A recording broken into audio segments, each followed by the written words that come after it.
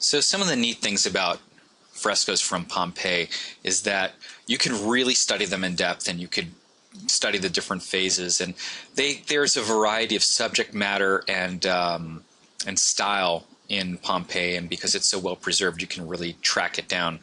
And the variety that we have often moves from uh, a architectural trompe l'oeil kind of design, sometimes with a deep space and a background, to an awful lot of wall painting that depicts things like still life and also myth- mythological stories and even some battles and wars uh, that are being depicted. And we also see the same thing somewhat in mosaic probably the most famous one, at least in the art history books, often is this still life from the House of the Stags. And it's not actually from Pompeii, it's from the a town that's very nearby called Herculaneum.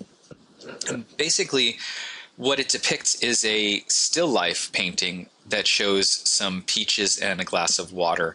And if you really think about it, at a time when fresh fruit wasn't around all year, and and uh, sometimes even water could be scarce, and clear water would be scarce. Paintings of things like this would almost be a, a, sort of fetishistic way. I think sometimes what you could think about, sometimes the subject matter of paintings for any culture is often something that you want to have, but you don't necessarily have at that moment.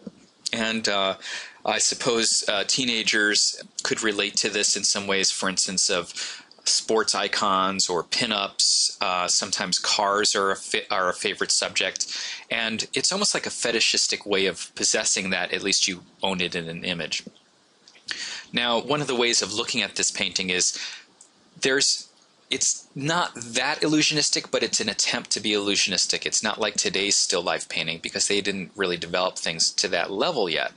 But it is really the height of virtual reality and the height of illusionism for the Pompeians and for the Romans that this kind of wall painting. And one of the things that's really tough to paint often is, for instance, a glass of water. And this is done fairly convincingly in this. However, some of the drawing is a little bit off. They don't really have some of the this, the traditional skills that we have, for instance, since the Renaissance, where, for instance, the cast shadow underneath the water is a little awkward. It's a little weird, but there are some reflections of light on it. Also, some of the other things that we see here, um, there's no real passage of light and shadow over it, but they the fruit do lay down some cast shadow. There's also no perspective on the surfaces that these things are on. So it's an early attempt by a fairly naive artist to create a sort of trompe l'oeil or a painting that can fool the eye that's supposed to be true and realistic. And it isn't until much later that we get there.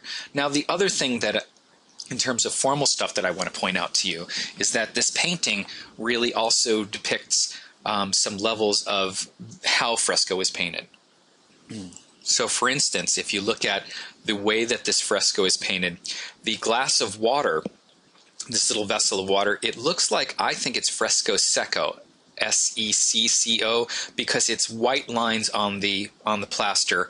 And ordinarily, what you would do is you would leave the plaster bare if you wanted some light areas. And so, in this instance, they probably went in either with encaustic, probably not encaustic, probably. Um, with with um, some kind of uh, tempera paint on top of the surface, and you can see the nicks and the scars in the fresco as well show some of the undercoating of the plaster two of the frescoes that I think really relate to some of the things that we've talked about in terms of uh, Greek and Roman mythology, and specifically relate to the Bacchae, are these two frescoes that are from Pompeii.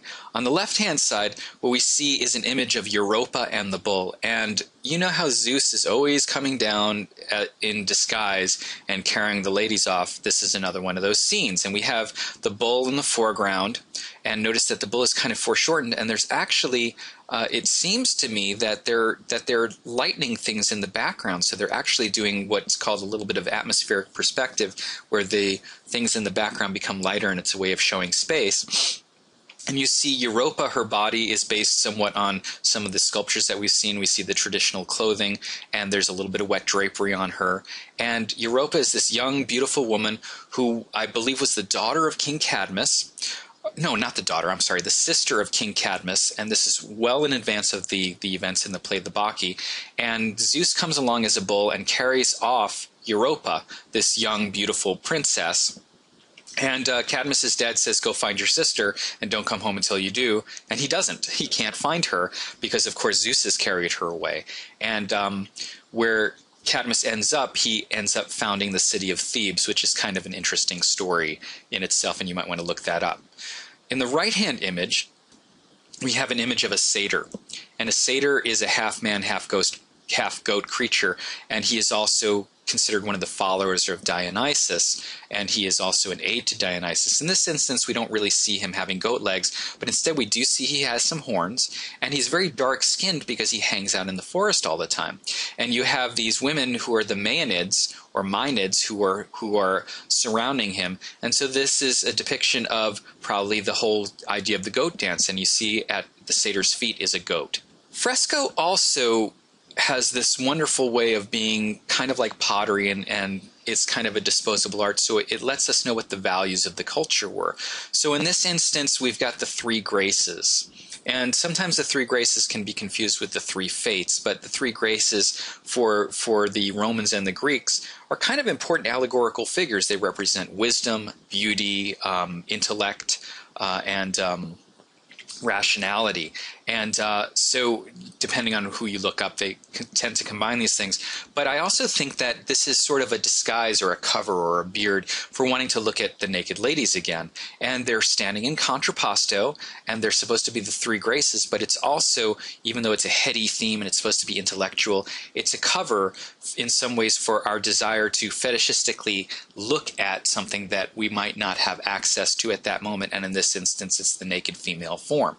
Frescoes also specifically can communicate ideology and can communicate um, historical myth in some ways. And so what we see here is this game of telephone. And remember when we started out on um, the the island of Crete and the city of Knossos, also called Knossos, we talked about Theseus this legendary Athenian king who ends up slaying the Minotaur in the maze. Well, we see here in the left hand side of the image, the Minotaur is just outside of the maze, and Theseus here has obviously slain him.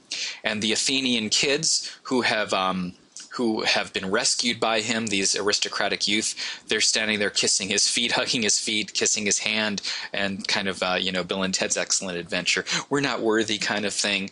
And we see Theseus standing in all of his glory, standing an awful lot like the sculpture, the Doryphorus that we looked at. And so we have this sculpture standing, or this figure of a hero, a young male figure who is standing in contrapposto. The anatomy is fairly accurate, and we get a sense that they're actually studying anatomy to some extent. They're really looking at this, and then the flat, um, two dimensional uh, visual tradition that they're trying to kind of follow up in the Verist tradition that we saw in sculpture. The other thing that you're kind of seeing here is that there's a little bit of size scale relationship and they're trying to create the sense of space with the foreground, middle ground, and background of the figures on the right hand side. You actually see them overlapping in a fairly rationalistic way, and the architecture is tending to make some sense. You have a little bit of light and shadow moving across the figures, and so this is really what I think that in the Renaissance they thought would be the ultimate goal of the Romans, and the Renaissance in some ways in Italy at this at in the um, 13 to 1400s picks up where this kind of painting left off, and they bring it to the next level. I just threw this one in because it's funny and kind of fun, and shows some of the uh, ideas that that this is also a playful culture, and we all know what a hermaphrodite is, uh, part female, part male, and we've got this uh, young satyr who does have goat legs in this instance, who's probably Pan. And uh, Pan was uh, literally horny. He had horns on his head, but was always chasing the, the nymphs. And uh, he mistakes this uh, the goddess or god Hermaphrodite um, for someone that he can have access to, and he runs over and he and she he reveals herself, and um, he's freaked out by it and runs off. And this is just kind of a um, a funny scene from Roman painting. So we're going to go outside of the city and we're going to visit a place called the Villa of the Mysteries. And we're going to look at some frescoes that relate to the Villa of the Mysteries. And my main idea or thesis for this next section of the talk or lecture is to discuss the relationship of the Bacchic and Dionysiac rites that we encountered in the play the um, the Bacchic women or the the, um, the Bacchae to um, Roman culture. And so we're going to go outside of the city to this place called the Villa of the Mysteries, and we're going to look at some of the frescoes and some intermediary fresco- frescoes between.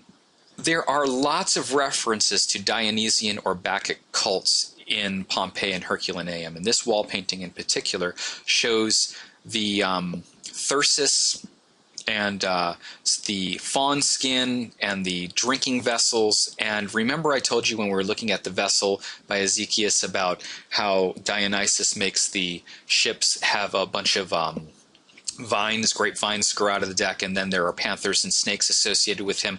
Well, all of the objects that we see in this fresco are associated with Dionysian rites. You beat those cymbals, which are just basically a, a, a clanging sort of castanet made out of metal, and then you would wear the fawn skin, and then we have the leopard and the snake in the bottom. The other thing about this fresco is, from a formal point of view, look at how wonderful the um, the foreshortening on the pots are and the ellipses in the top of some of the pottery, and that they almost have a sense of linear perspective that they don't develop until the Renaissance later on in the 1400s. This artist is intuitively getting a lot of the visual stuff correct. This is one of those other frescoes that depicts um, Dionysus and one of his Maenads, one of the Bacchic women following behind him. And we see he's got grape leaves around his head and he's holding a wine cup.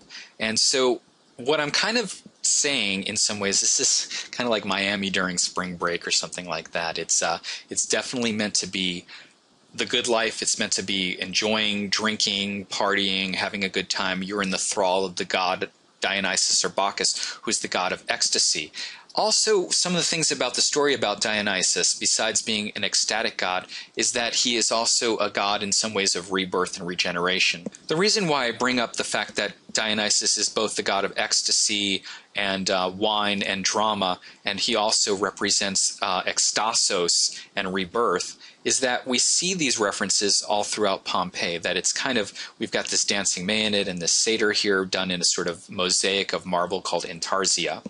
But a place called the Villa of Mysteries really lays out some of this. Now, what I'm going to lay down for you here is probably more theoretical. There's no strong factual evidence to back this up.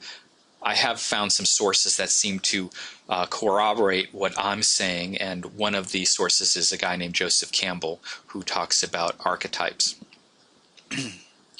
At the Villa of the Mysteries, there's a series of frescoes that are life size figures that run around the exterior of the wall inside one of the rooms. It's actually uh, not an enormous room, but it actually has mosaic on the floor and these red frescoes on the walls. And they show a series of bizarre kinds of rites and events, and it looks almost like a rave today or an S&M party. It's just kind of a bizarre scene.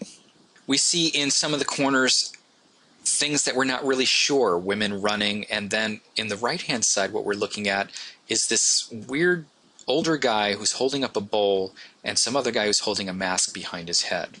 And if you look at this scene that's going on, the way that Joseph Campbell describes what it is, he thinks that it is an initiation scene. And what he bases this on is the idea of that there were these things called Bacchic rites, in which if you got initiated into the cult of the god uh, Bacchus, it might mean that you could be reborn in some kind of ecstatic state. And what this is based on is somewhat in the mythology concerning um, Bacchus or Dionysus. Is at several points he's uh, he's torn apart and he is reborn once in the thigh of Zeus. The other time Zeus eats up the parts and then regurgitates him out whole again.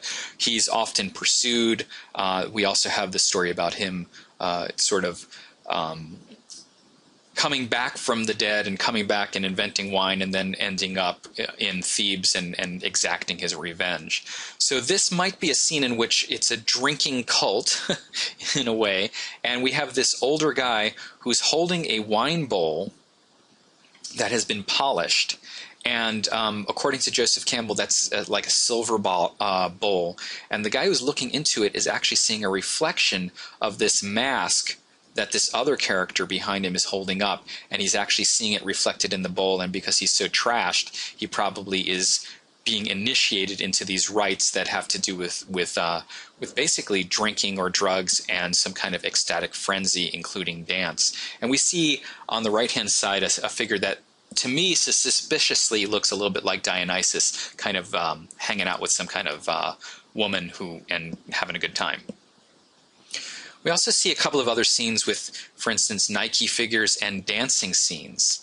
And um, one of the scenes that is continuing on after we get from the bowl and the the character holding it up and being initiated is this figure is sort of lying down and another figure who is um, a, a Nike figure and then you move around the corner of the room and you see another figure laying down.